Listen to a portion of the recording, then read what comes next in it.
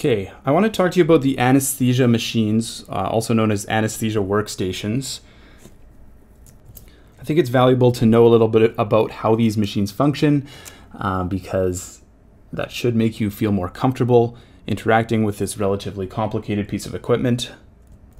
So in this video, we'll talk about the basic functions of the anesthesia gas machine, which is to receive gas, whether that's oxygen, nitrous, air, or something else, control the flow of those gases, decreasing the pressure to safe levels, um, vaporizing some type of volatile gas to anesthetize the patient, and uh, of course, delivering that gas to the patient.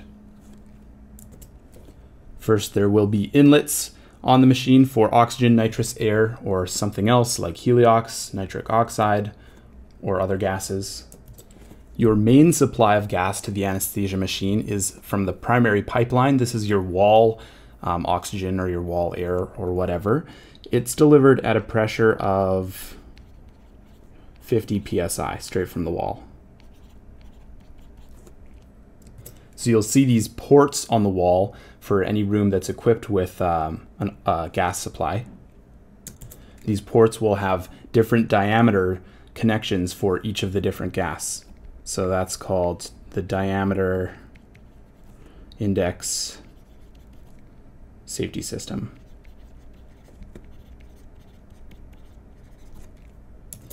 Or DISS. These will be color coded as well, but um, this prevents you from hooking up a nitrous line to an oxygen port because the diameter physically will not fit. Then you have your backup and portable gas supply from gas cylinders, um, which are full of highly pressurized gases. So your pressure here is very high because you're cramming all of this gas into a small cylinder. Instead of using a diameter index safety system here, they use um, these pins of different sizes. So these are pinholes actually on um, the head of this cylinder. And then this will be your gas outlet port. This is actually a pinhole. The actual pins are on the attachment piece for the head of this, which is called the yoke and they'll have pins in a certain arrangement to attach onto this um, device with uh, hose essentially connecting to the gas outlet. So if you tried to attach a hose with a yoke designed for an air uh, cylinder to this oxygen cylinder, these pins would be in a different arrangement and you wouldn't be able to screw it into place. This is called the pin index safety system.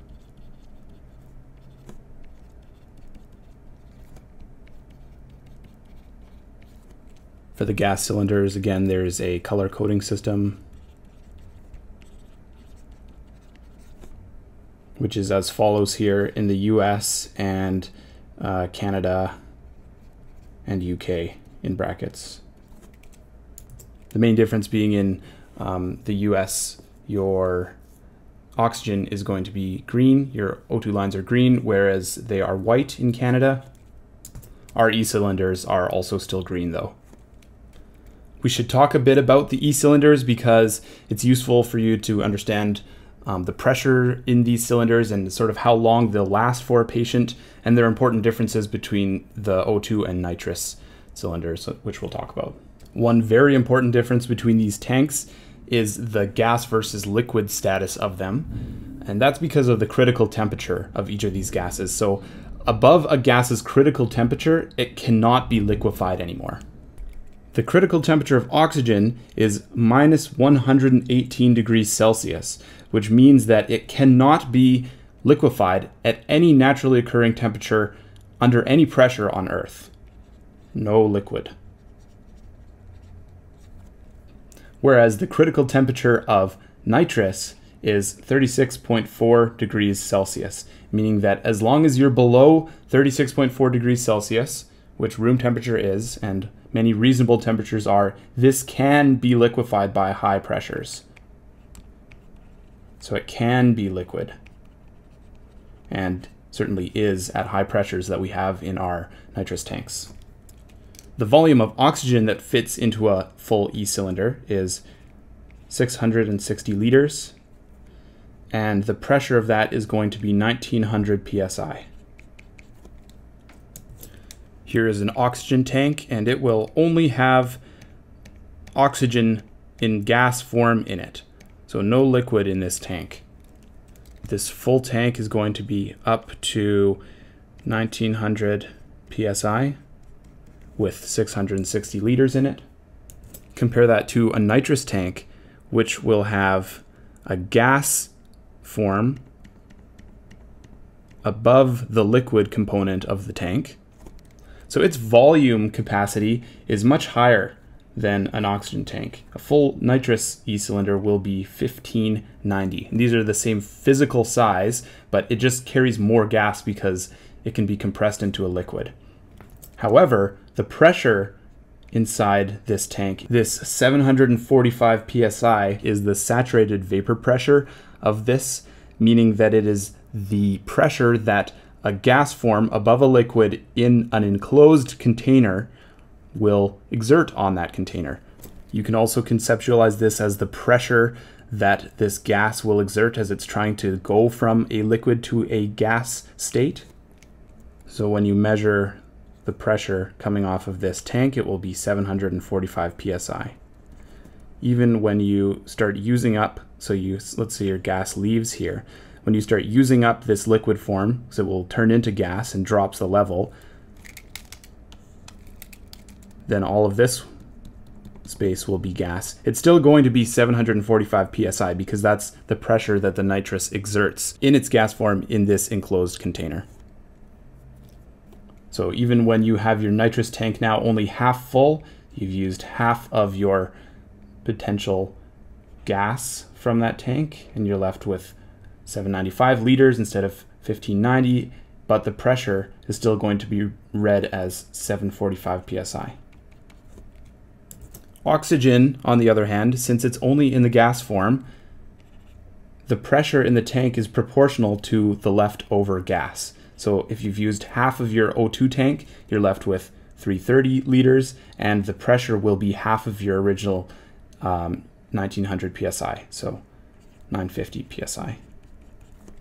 You can use this knowledge about the pressure in the O2 tank and its remaining uh, volume to estimate the time remaining for the tank, or how long you can actually run the tank for before it will be empty which is useful if you're transporting a patient and you need to know if you have enough oxygen to uh, last for that transport. We said the uh, volume is proportional to the pressure in the tank. So if we take our 660 liters divided by 1900 psi, we get 0.35 liters per psi. So if you want to know how many liters are remaining in your tank. That's just going to be that 0.35 times whatever PSI the tank is reading. So let's just do a quick example. Say you have 700 PSI on your O2 tank times 0.35 liters per PSI will give you 245 liters. And then just simply divide how many liters are left in the tank by your liters per minute that you're running it at and then you'll get how many minutes you can run this. So 245 liters divided by, let's say you are going at 15 liters per minute, which is what you would be doing an Ambu bag at. It'll give you 16 minutes with this O2 tank. Now, if you really want to quickly just know how many liters are left in your tank, essentially this is basically one third. So if you just divide the pressure in the tank by three, you will get how many liters are remaining, and then simply just divide that by your liters per minute to tell you how many minutes are left in the tank. So I think the most clinically useful thing is just to look at your PSI, divide it by three, and that'll tell you approximately how many liters are left in the tank. Course, this only applies for your oxygen tank. If you want to know how much is left in your nitrous tank, you can't look at the pressure because it's going to be the same no matter how full your tank is until you're very close to empty. So you'd actually have to weigh this nitrous tank um, and compare its weight to the full weight to tell how much of the uh, liquid and gas nitrous is left in that tank.